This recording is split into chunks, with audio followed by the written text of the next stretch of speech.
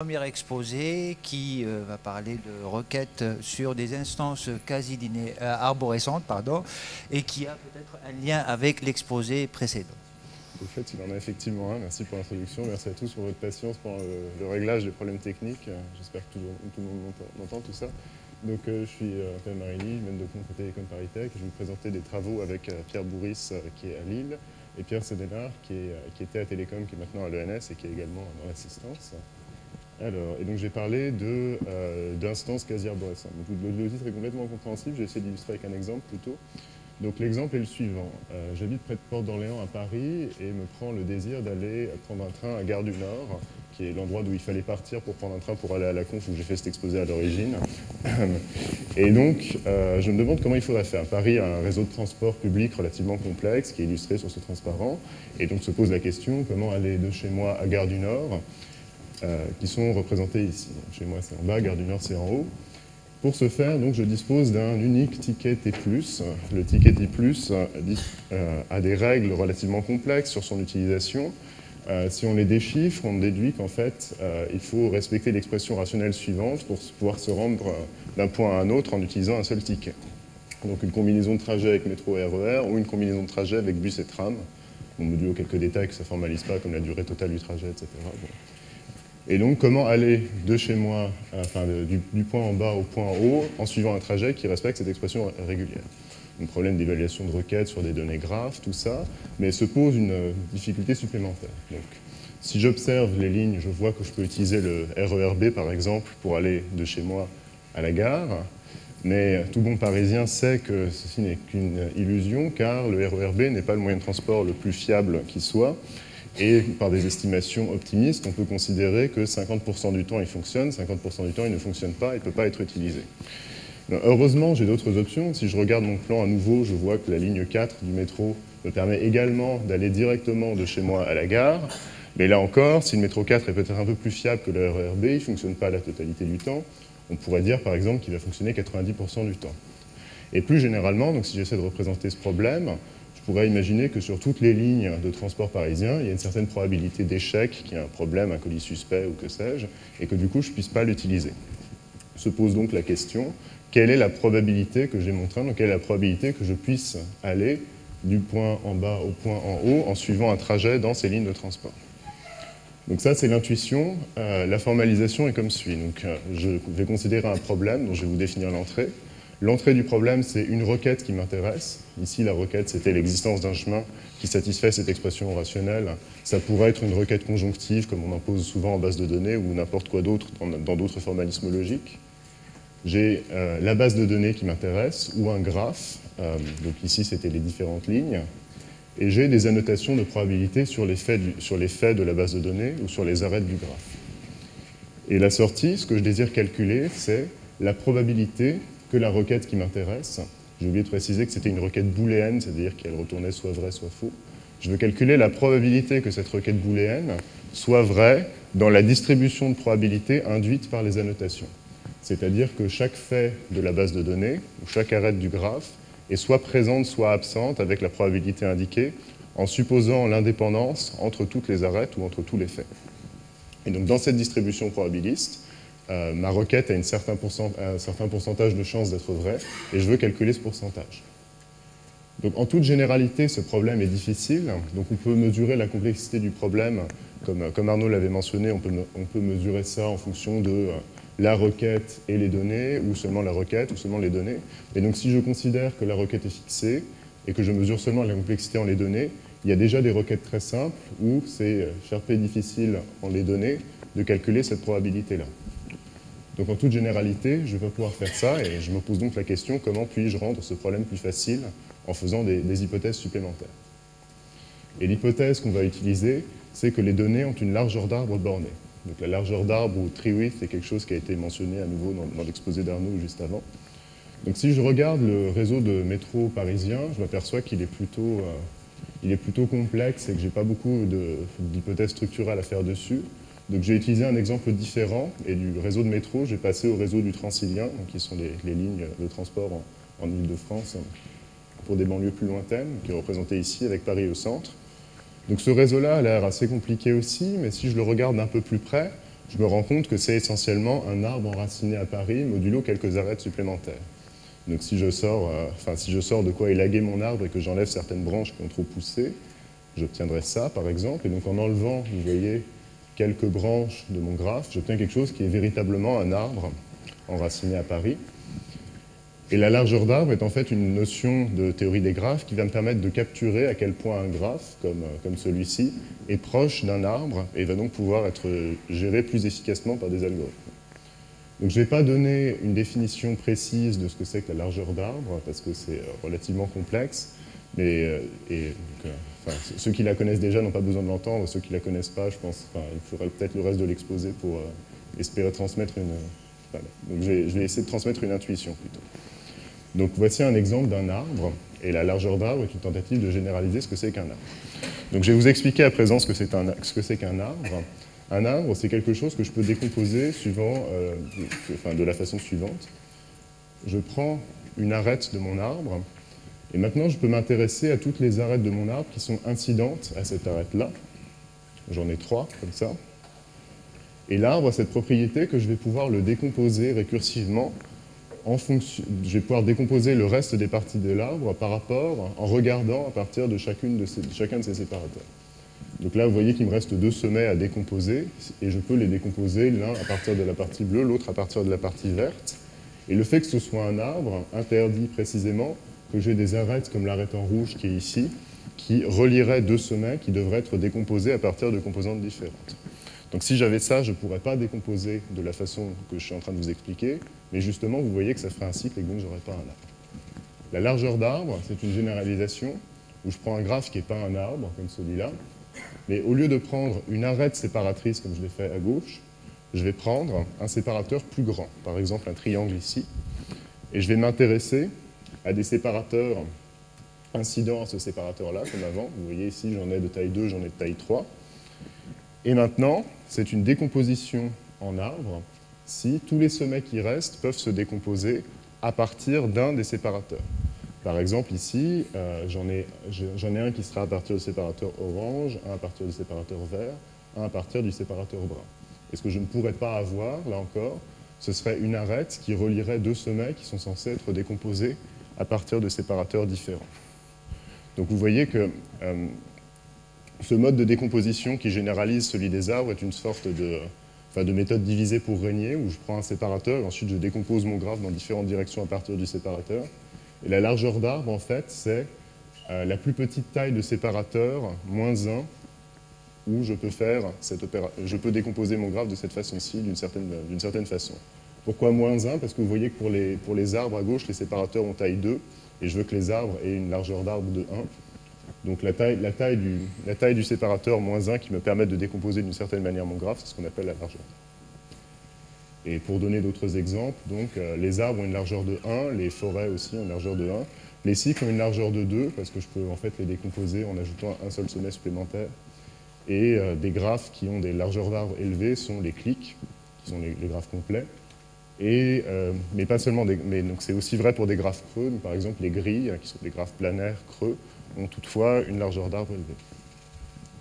Donc ça, c'est une intuition de ce que c'est que la largeur d'arbre, et donc on s'attendrait à ce que certaines instances, certaines bases de données du monde réel sur lesquelles on voudrait faire des calculs probabilistes, comme le réseau du francilien, aient une largeur d'arbre plus faible, enfin relativement faible comparée à leur taille, et on voudrait pouvoir utiliser ça pour faire du calcul efficace. Alors pourquoi est-ce qu'on a cet espoir-là? Parce que donc, cette largeur d'arbre a déjà été utilisée pour de l'évaluation non probabiliste. J'ai oublié de préciser que ce que j'appelais une instance euh, des bases de données quasi arborescentes dans le titre, c'était des bases de données ou des graphes dont la largeur d'arbre est bornée par une constante. Donc quand j'ai parlé de quasi arborescent, je vais supposer que je travaille uniquement avec des bases de données où j'ai borné la largeur d'arbre. Donc sur ces instances quasi arborescentes, dans le cas de l'évaluation non probabiliste, on connaît la méthode suivante, donc par les travaux de Courcelles notamment. On sait que pour évaluer une requête dans un langage logique qui s'appelle MSO et qui couvre les expressions rationnelles dont, j'ai parlé ici. Quand on veut évaluer une telle requête sur des données dont la largeur d'arbre est bornée, on peut procéder de la façon suivante. On peut compiler notre requête MSO en un automate d'arbre et on peut transformer nos données de largeur bornée en un arbre sur un certain alphabet fini. Cet alphabet est de taille fixée quand on a fixé la, signature relationnelle et la largeur, de sorte qu'on puisse évaluer notre requête sur les données en évaluant l'automate d'arbre sur l'encodage en arbre. Ce qu'on peut faire en temps linéaire, et comme ça on obtient la réponse vrai ou faux à la requête qui nous intéressait. Donc la complexité de ce processus, donc la transformation de la requête MSO en automate d'arbre est très coûteuse en général, mais elle est indépendante des données. Quand on a fixé la largeur d'arbre des données, cette transformation est complètement indépendante des données. La transformation des données en arbre, elle est linéaire quand on a fixé la largeur d'arbre. Et ensuite, l'évaluation est linéaire et nous permet d'obtenir une évaluation avec une complexité linéaire en les données. Donc ça, c'est dans le cas non probabiliste. si, j'ai mon, réseau de transport sans probabilité et que je veux savoir s'il y a un chemin, je peux le faire en complexité linéaire en le réseau lorsque sa largeur d'arbre est bornée. Et notre résultat, c'est qu'on peut faire la même chose dans le cas où on a des probabilités. On a montré en fait qu'on pouvait calculer pas seulement une réponse booléenne à la requête, mais ce qu'on appelle un circuit de provenance. Alors qu'est-ce que c'est qu'un circuit de provenance? C'est quelque chose de plus qu'une réponse booléenne, c'est quelque chose qui capture comment la réponse à la requête dépend des données. Donc là, en fait, vous voyez que dans l'exemple que j'avais avant, je pouvais aller de chez moi à la station si j'avais la ligne 4 ou le RERB. Le circuit de provenance est un circuit booléen dont les entrées correspondent aux faits de la base de données initiale et qui décrit dans quel cas est-ce que la requête est vraie. Donc en fait, en regardant ce circuit, je peux, pour différentes combinaisons de lignes qui fonctionnent et de lignes qui ne fonctionnent pas, retrouver facilement si je vais pouvoir avoir mon train ou pas. Et on a montré qu'on pouvait calculer un tel circuit en temps linéaire. Et en plus que, par chance, ce circuit a une forme qui nous permet de calculer efficacement la probabilité que ce circuit soit vrai. Donc à partir du circuit, en remettant les probabilités sur les lignes, on peut faire un calcul arithmétique qui nous donnera, en temps linéaire, modulo la complexité des opérations arithmétiques, qui nous donnera la probabilité que la requête soit satisfaite, qui est de 95% dans l'exemple qui m'intéressait. Donc on peut formuler ça comme un théorème. Donc on a montré que pour des requêtes dans cette logique expressive MSO, qui sont booléennes, quand on a fixé une telle requête et qu'on a fixé une borne sur la largeur d'arbre, on peut évaluer en complexité linéaire en les données la requête pour calculer la probabilité que la requête soit vraie. Donc on a d'autres résultats de faisabilité de ce type dont je ne vais pas parler plus en détail. Donc notamment, on a compris pourquoi, euh, pourquoi ces circuits, on peut évaluer la probabilité de façon efficace. Donc si j'avais eu un circuit booléen général, ça ne m'aurait pas beaucoup aidé, parce que évaluer la probabilité d'un circuit booléen général, c'est euh, également, euh, c'est comme SharpStat, c'est infaisable. Mais on a compris que ces circuits étaient dans une classe qu'on appelle les DDNNF, et qui font qu'on peut évaluer efficacement la probabilité, qu'on peut calculer d'autres représentations efficaces des lignages. On a montré aussi qu'on pouvait gérer des corrélations. Euh, jusqu'à présent, je supposais l'indépendance des, faits. Et donc vous aurez peut-être remarqué que j'ai glissé sous le tapis une, difficulté, qui est que quand j'ai une ligne de métro, quand je dis qu'elle a 50% de chances de fonctionner, ça veut dire en fait que chacune des arêtes de la ligne a 50% de chances de fonctionner, mais de façon corrélée. C'est pas comme si chaque segment allait échouer de façon indépendante. Donc j'ai besoin en fait de gérer des corrélations entre les différents segments d'une même ligne. Et en fait, on a montré qu'on pouvait également faire du calcul efficace euh, dans ce contexte-là, si les corrélations étaient elles-mêmes de largeur d'arbre borné en un certain sens, et notamment si elles suivaient la structure du graphe ce qui couvre par exemple le cas des arbres probabilistes qui avaient été étudiés pour XML probabiliste séparément. On a aussi montré qu'on pouvait calculer, euh, non, seulement calculer des probabilités, mais aussi calculer de la provenance dans des semi-anneaux plus généraux. Donc les semi-anneaux de provenance sont une construction algébrique pour euh, généraliser cette intuition d'un circuit qui, euh, représente comment mon résultat dépend des données. On peut avoir des représentations comme ça pour différentes applications et on peut calculer efficacement de, telles représentations. Et on a montré aussi des liens avec des approches qui existaient pour certains types de requêtes qui étaient efficaces sur n'importe quelles instances. là, j'ai montré comment on pouvait restreindre la structure des instances. Il y avait des travaux sur restreindre la structure des requêtes à la place, et on a montré certaines connexions. Donc maintenant, je vais vous parler de, de bornes inférieures. Donc là, j'ai expliqué comment, quand on a des données de largeur d'arbre bornée, on pouvait faire efficacement ce calcul. Si la largeur n'est pas bornée, en fait, on ne peut pas faire grand-chose et on a une borne inférieure qui s'applique. On a montré que pour n'importe quelle signature fixée, mais des signatures de graphes seulement, donc là je m'intéresse seulement aux graphes, on ne sait pas montrer ce résultat lorsque la réalité n'est pas égale à 2. on a une certaine requête où pour n'importe quelle famille d'instances dont la largeur d'arbre n'est pas bornée et qui est constructible dans un certain sens, alors ce problème d'évaluation probabiliste que je vous ai présenté est difficile. Donc on sait que si j'autorise n'importe quelle instance, ce problème est difficile. Je l'ai dit, dit, dès le départ, il est et difficile, etc. Mais là, ce que j'affirme, c'est que, quelle que soit ma façon de restreindre les instances d'entrée, si j'impose un, autre, un critère sur mes instances d'entrée pour essayer de rendre le problème facile, si ce critère ne revient pas à borner leur largeur d'arbre, alors je ne pourrais pas obtenir la faisabilité, sous cette hypothèse de, constructibilité euh, dont je vais parler un peu plus. Donc largeur non bornée, ça veut dire sur une famille d'instances où pour toute largeur d'arbre, il y a une instance qui a au moins cette largeur d'arbre dans la famille. Constructible, ça veut dire en fait que quand j'ai une largeur d'arbre, cette instance de grande largeur d'arbre, je peux la calculer efficacement. Je peux la calculer en temps polynomial en la largeur. Et dans ce cas-là, on a la difficulté, donc on est sharp et dur sous, réduction RP. Donc peu importe ce que ça veut dire, mais c'est difficile. Et sous, réduction RP, je vais vous expliquer d'où il vient. Donc l'idée, intuitivement, qu'on utilise pour montrer ce, genre de résultat, c'est des notions de théorie des graphes que sont des mineurs topologiques. Donc, on dit qu'un graphe est un mineur topologique d'un autre, que je représente comme ça. Si on peut envoyer les sommets du graphe de gauche dans les sommets du graphe de droite, et les arêtes du graphe de gauche dans des chemins du graphe de droite qui ne se chevauchent pas, excepté en les extrémités. Donc là, vous voyez qu'en gros, ça revient à dire que je trouve G dans H comme un sous-graphe où j'ai pu subdiviser les arêtes. Et on a, cette notion-là. Et en fait, des résultats sont connus sur le fait que quand j'ai des graphes de grande largeur d'arbre, je peux trouver d'autres graphes comme mineurs topologiques. Donc s'il y a un graphe qui m'intéresse, je peux le trouver comme mineur topologique de graphes d'une largeur d'arbre suffisamment grande. Donc il y a certaines restrictions qui s'appliquent aux graphes, donc ça concerne les graphes planaires de degré au plus 3. Et en fait, un résultat plus récent qu'on utilise, c'est que quand je m'intéresse à un graphe planaire de degré au plus 3, euh, H, je peux le trouver dans n'importe quel graphe de largeur d'arbre suffisamment grande. Et suffisamment grande, c'est un polynôme de degré fixé en la taille du graphe qui m'intéresse. Alors pour, et, en fait, là, c'est en Python avec haute probabilité, c'est pour ça qu'on a des notions probabilistes qui viennent dans l'énoncé du théorème. Alors pourquoi diable est-ce que je fais ça? Parce que je veux montrer un résultat de Harness. Donc je vais vous montrer en gros la structure de la preuve du, résultat du, théorème dont je vous ai parlé. Ce résultat, c'est un résultat de Harness. Et donc la stratégie de preuve, c'est de prendre un problème difficile et de faire une réduction. Et ces, résultats sur les mineurs, en fait, c'est quand je vais prendre une entrée à mon problème difficile, pour le réduire au calcul sur une famille d'instances arbitraires, je vais pouvoir extraire ce graphe comme un mineur dans ma famille. Donc on prend un problème difficile, qui est le problème de, comptage des couplages de graphes. Enfin, on a, choisi celui-là pour, pour certaines raisons. Et donc, je prends un graphe d'entrée à ce problème et je vais réduire ça à mon problème d'évaluation probabiliste sur ma famille arbitraire.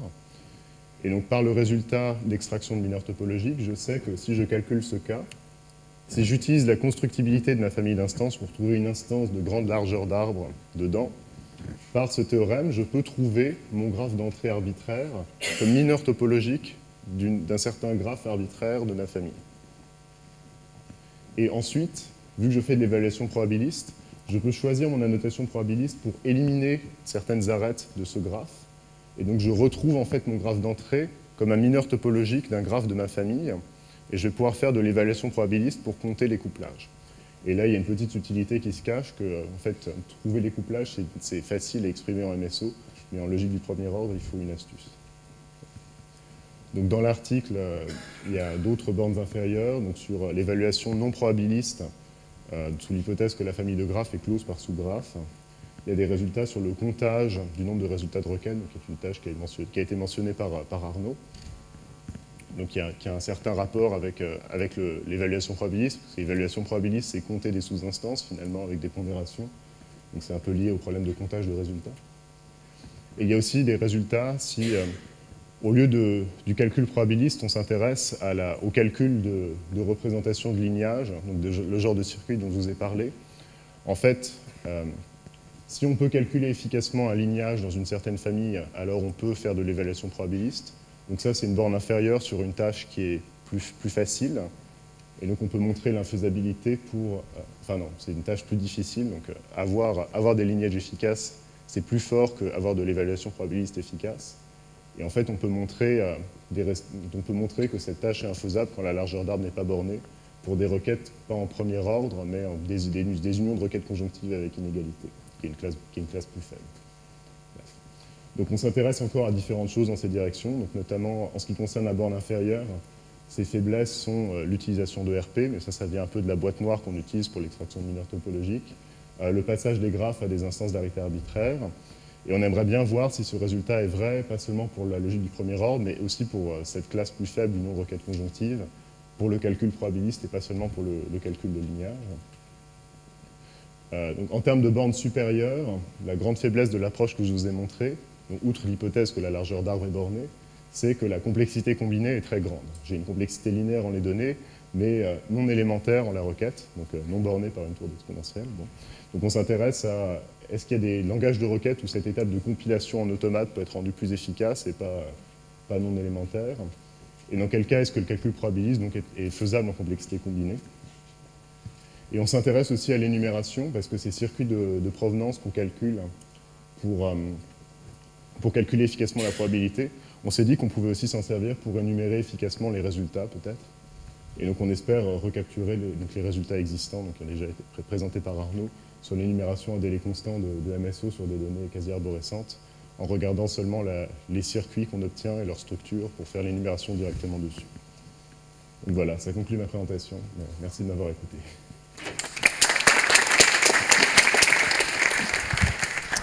Merci. Je confirme effectivement le lien avec l'exposé précédent. Des questions? Oui. Euh, oui, moi aussi je confirme le lien. Euh, sur, l'énumération, une, propriété qui pourrait être intéressante, c'est d'avoir une énumération ordonnée suivant la plus forte probabilité. Euh, ah. Tu vois, quel est le meilleur chemin, des top cas answer de...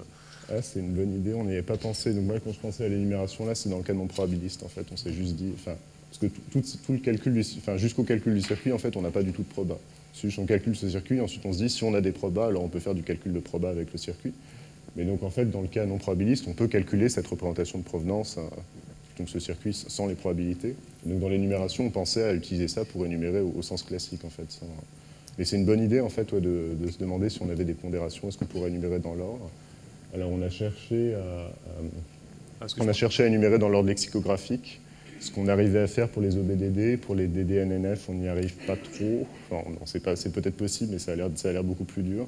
Et ouais, donc suivant un, suivant un ordre probabiliste, euh, donc une probabilité de la solution totale, je ne sais pas trop, mais c'est une, une, idée intéressante.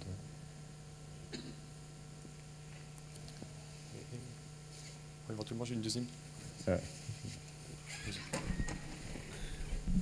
Oui, je, je, je, pense à, au trajet de, de métro, toi, sur euh, chaque, en fait, dans le trajet, tu as les probas et toi aussi le délai. Donc, euh, les, différents chemins que tu peux prendre mm. ont en fait des délais différents pour arriver. Donc, enfin, même on, pourrait même imaginer une distribution de probabilité sur le temps que ça prend d'emprunter une arête. Oui. et après, la question c'est est-ce qu'on euh, tu as pensé à, trouver le, chemin le plus rapide qui est, qui est probablement le plus rapide ben, je n'ai pas travaillé spécifiquement sur ça, mais c'est tout à fait. Donc, tu, tu, peux avoir un chemin qui a une grande probabilité qui marche, mais ce n'est pas rapide. Donc on pourrait, au contraire, tu peux avoir un chemin qui est très rapide, mais probablement pas, qui ne marche pas. parce que la, probabilité est faible. donc, la question, c'est quel est le chemin qui est probablement le, plus rapide. Ouais, donc on pourrait calculer euh, le chemin dont l'espérance du temps de trajet est le plus faible. On pourrait calculer aussi des choses plus compliquées, du genre euh, quel est le chemin qui, euh, si un certain, si mon train est dans une heure, je veux le chemin qui maximise la probabilité que je sois arrivé dans une heure ou dans 50 minutes. Donc ça, donc oui, c'est des choses intéressantes. Alors, je ne suis pas exactement sûr que ces méthodes-là fonctionnent, mais en fait, l'idée de prendre, enfin, quand j'ai parlé, j'ai fait allusion à l'histoire de semi-anneaux de provenance plus généraux. L'idée d'avoir des semi-anneaux de provenance généraux, c'est de pouvoir capturer justement des tâches de genre, donc dans un, semi-anneau des, dans un semi-anneau des distributions sur les temps de trajet. Donc, enfin, donc j'ai pas spécifiquement fait ça, mais oui, a priori, ce genre de méthode pourrait marcher pour ce, pour ce genre de tâches. C'est des choses qui seraient importantes en pratique. Si on énumère tous les mondes possibles, on, peut trouver cette solution, mais après, c'est complètement inefficace. C'est pas faisable. L'esprit de toutes ces méthodes, c'est d'éviter l'énumération. Donc, on peut toujours faire de l'énumération des mondes possibles, mais c'est exponentiel. Euh, on peut aussi faire du sampling pour avoir des résultats approchés. L'idée de ces méthodes, c'est d'avoir des résultats exacts euh, de façon faisable sous certaines hypothèses. C'est intéressant comme problème.